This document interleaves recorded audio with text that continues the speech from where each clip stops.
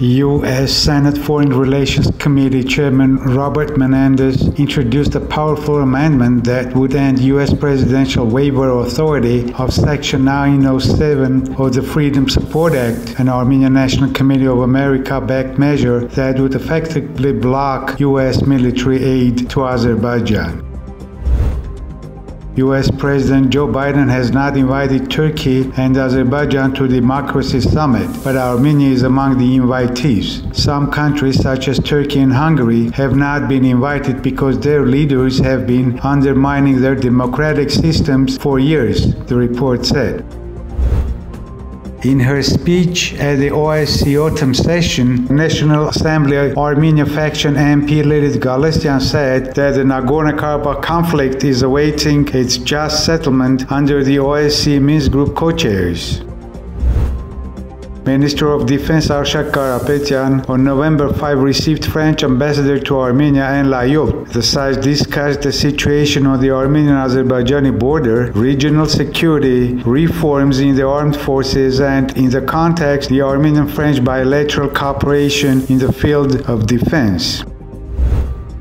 In response of MP Armenuik Yurerian's question regarding the enlargement of communities, Minister of Territorial Administration said that outflow from border settlements has been going on for a real long time, especially from smaller and remote border settlements. It's a serious issue, even a national security issue, he said.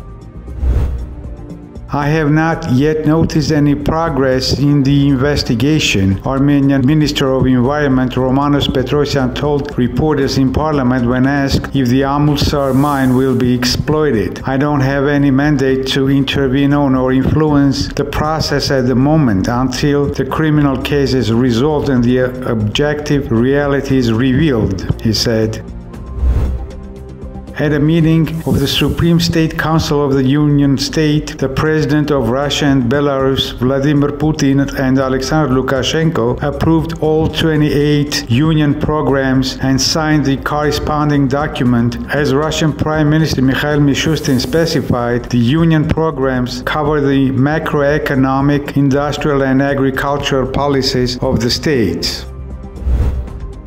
A spokesman for the Atomic Energy Organization of Iran has said the country's stockpile of uranium enriched to a purity level of 20% has surpassed 210 kilograms.